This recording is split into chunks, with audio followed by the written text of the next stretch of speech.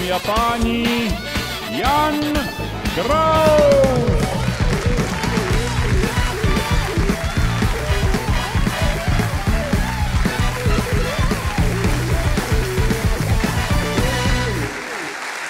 Děkuji úctivě, dobrý večer.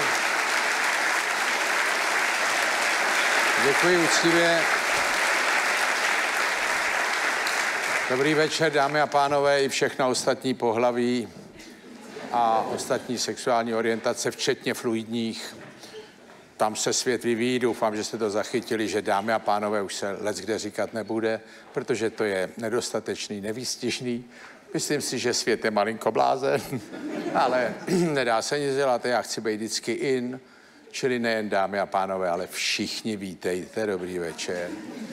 Doufám, že stejně jako já sledujete tu hříčku o uh, složení vlády a ona je zábavná v tom, jak uh, všichni říkají, že teda s Babišem vládnou, do vlády nepůjdou, pak říkají, že je málo přemlouvá, že by je měl přemlouvat víc.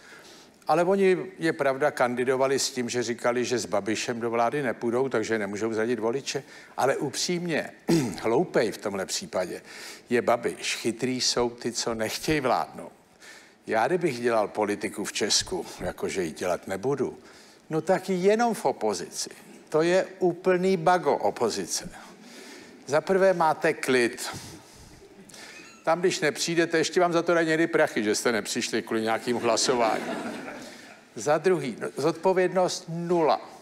Prachy stejný. Ve vládní straně v opozici stejný. Dobrý je chytit šéfa výboru, dostanete větší prachy, auták, že jo.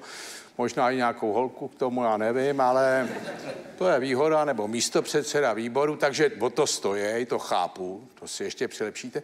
Ale jinak žijete v úplný pohodě, klidu, žádná zodpovědnost, žádný maléry, když nepřijdete, jak říkám, nic moc se nestane. A o co víc jde, že tím, že nemáte zodpovědnost, je větší šance, že tam budete další čtyři roky potom. Nemáte co podělat. Budou říkat pracant ve sněmovně a takový tyhle ty.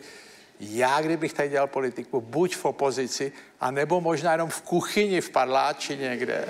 Hlavně nebejt vidět, jenom kasírovat.